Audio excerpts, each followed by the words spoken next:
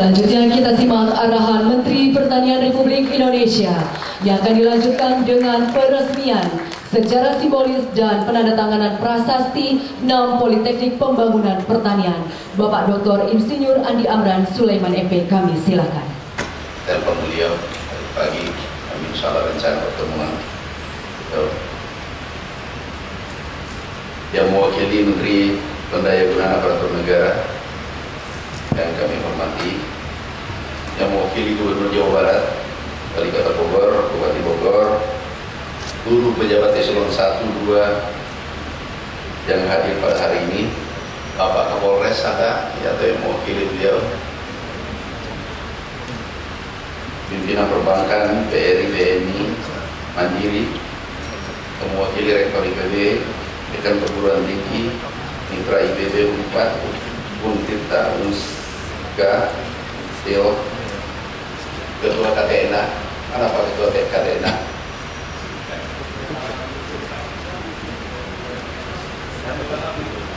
Oh sedang dibaca begitu. Ketua HKTI atau yang mewakili Ketua Asosiasi Organisasi Petani, dosen, bidas suara, peneliti, penyuluh, mahasiswa, seluruh hadirin yang saya cintai. Bapak Ibu sekalian, hari ini kita berbahagia karena kita meresmikan Politeknik Pertanian. Kami target 10 unit, hari ini selesai 6 unit, tinggal 4.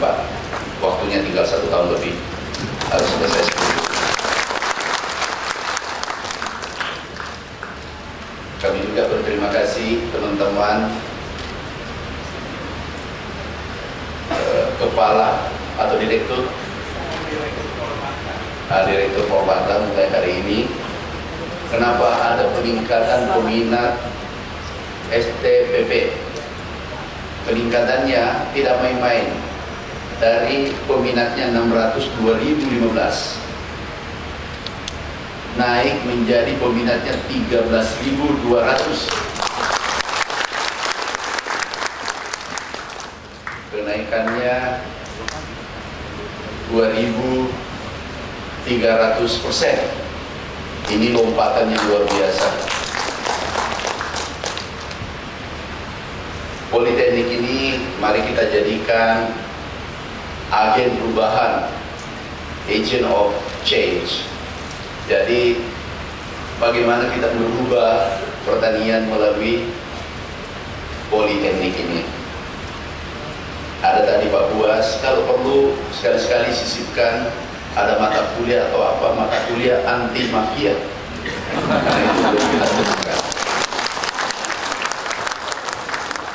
Nanti dosennya Pak Buas salah satu.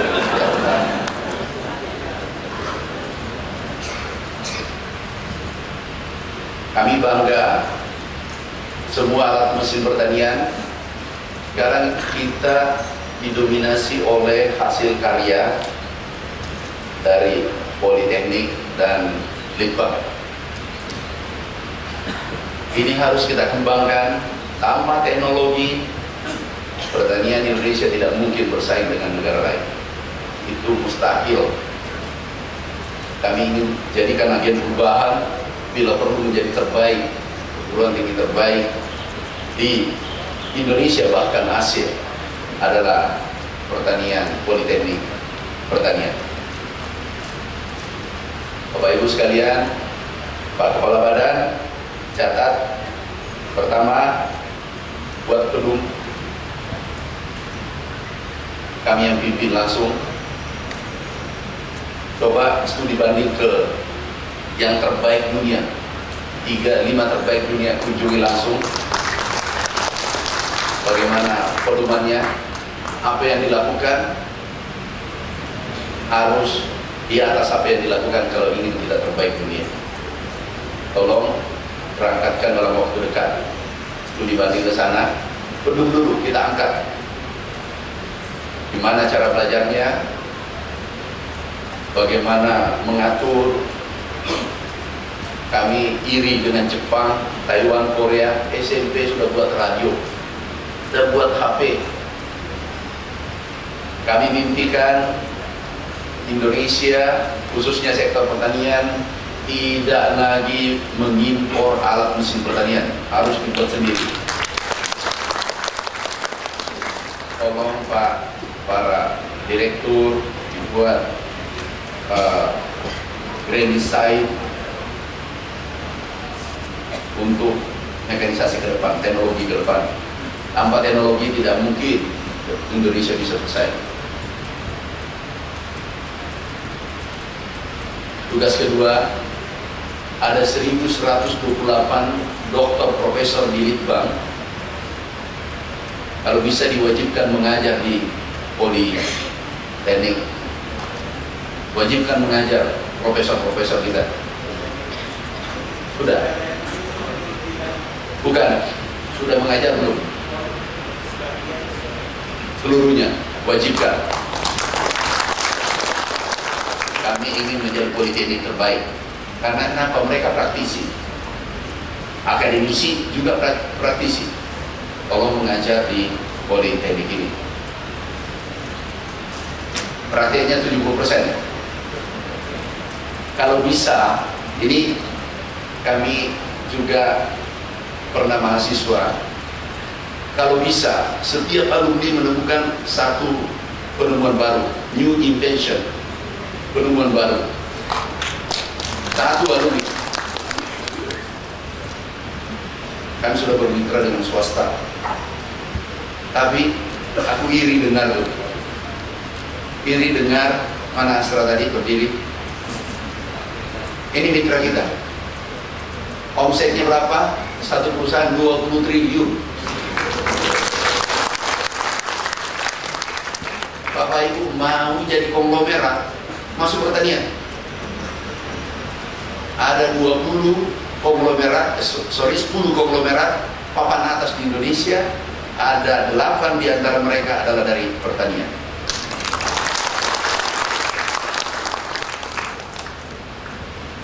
Harus kita merubah mindset. Anak mahasiswa, teman-temanku, anak-anak sekalian yang alumni, jangan cari kerja mencari pekerja. Kalau keluar dari alumni politeknik bekali dari awal prakteknya berapa? 70 persen. 70 persen. Itu sudah luar biasa praktek 70 persen. Ajari mereka. Contoh contoh kecil yang kita lakukan. Ini baru contoh kecil. Tapi bisa membuat membuat tercengang dunia jagung. Kita suruh buat tongkol dua dulu hanya tongkol satu. Bahkan aku minta tongkol empat supaya produksinya empat kali lipat. Nanti ke depan semua pelepah ada tongkol. Berarti 10 tongkol satu. Batang bisa? Gak yakin suaranya. Bisa gak ada orang berasa tongkol jagung sekarang dua namanya NASA 29 nah ini Nakula Sedewa. Aku nggak ngerti juga namanya Nakula Sedewa. Saya iakan aja pasti barang bagus nih. 13 ton dulu cuma 5 ton hasilnya apa? Kita sudah lihat sekarang. Kita sudah ekspor. Ini perdebatannya lama. Ributnya lama. Gaduhnya luar biasa kami di demo, kami dibully, kami dihujat.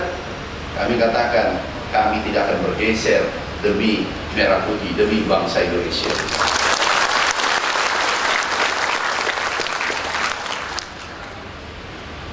Banyak yang mencoba menggoda Pak Menteri itu tidak mungkin dalam waktu singkat Bapak Presiden luar biasa keluarkan kebijakan Petani sangat sederhana. Kalau untung mereka lanjutkan produksi. Kalau rugi mereka bangkrut. Dia menangis dan dosanya kita tanggung nantinya pemimpin-pemimpin pertanian di Republik ini kalau tidak memperhatikan mereka.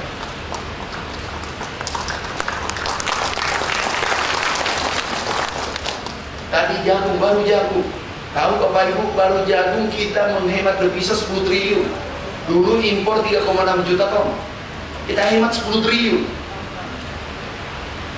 Dan itu tidak bisa lagi dibantah hari ini. Karena hari ini kita tidak impor. Kami pernah di demo di Blitar. Kami di Surabaya nonton di hotel subuh tiba-tiba muncul turunkan Menteri Pertanian.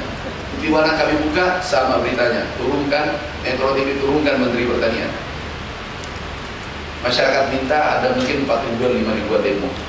Aku cari ini mana? Blitar.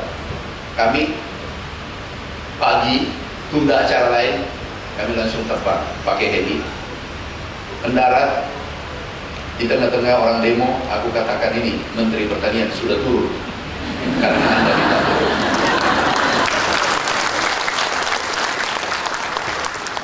Yang pimpin bupatinya, tapi karena mungkin kami dari kampung-kampung kami subuh sudah siapkan jagung. Dia minta waktu itu dia minta hanya 100 ton. Kami kirim 5000 ton. Dia minta harga 3000 maaf waktu itu dia minta harga 4 ribuan kalau tidak salah 3600 kami beri harga 3000 Pak Menteri langsung peluk dari belakang yang ketua demonya Pak Menteri jangan berhenti jadi menteri. Bukan kamu tentukan. Setiap detik adalah takdir. Allah yang mengatur hidupku. Allah yang mengatur saya katakan kami datang bukan karena takut dicopot. Tapi kami datang karena perintah presiden. Manakala petani berteriak menangis kamu hadir di sisi mereka. Selesaikan persoalan ini itu perintah presiden itu baru salah satu contoh bahwa kita sudah ekspor dulu impor polemik juga Pak Dirut. Pak Dirjen polemik luar biasa. Kami salah. Harga naik salah harga turun juga salah. Memang kami selalu minum pil sabar. Kita harus sabar menghadapi saudara-saudara kita sendiri.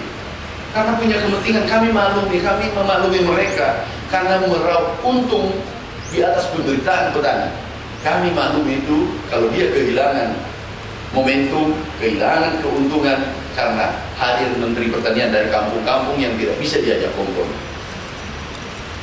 Kami tahu bahwa mereka kehilangan keuntungan. Tapi kalau bisa, saudaraku, buatlah petani untung. Petani tidak minta banyak, hanya 100 perak, 200 perak. Pedagangnya juga untung, konsumennya semua tersenyum negara kita menjadi kuat. Jangan ego, jangan pikirkan diri sendiri. Hanya dikuasai segelintir orang. Lima orang, sepuluh orang. Sampai pernah kami diskusi. Beberapa konglomerat kami sampaikan. Saudaraku, sahabatku, hari ini tersenyum. Anak cucu anda nanti belum tentu tersenyum. Kenapa Pak Menteri? Dikejar sama orang yang kelaparan. Dikejar sama orang yang miskin Oh gitu Pak Menteri, Anda sayang cucu, saya. Nah, caranya adalah saya petani. Ini adalah saudaramu, dia adalah saudara kita. Itu sudah dua. Kemudian ayam telur kita sudah ekspor. Ini kerja keras kita semua. Pengusaha kita sayangi mereka karena dia menciptakan lapangan kerja.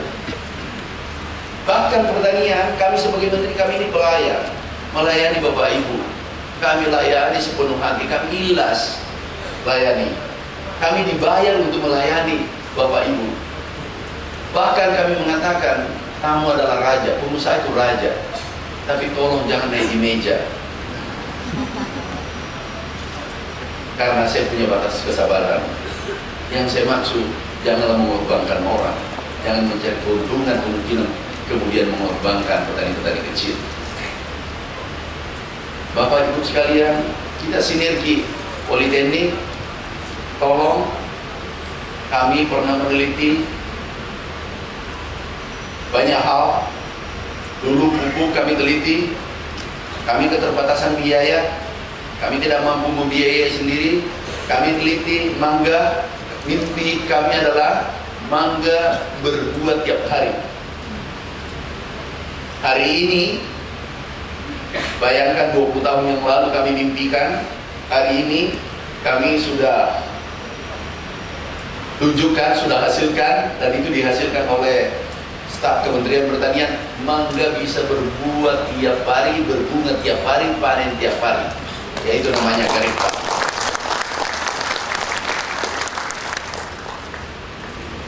Ayam juga sudah dilahirkan namanya ayam KUB.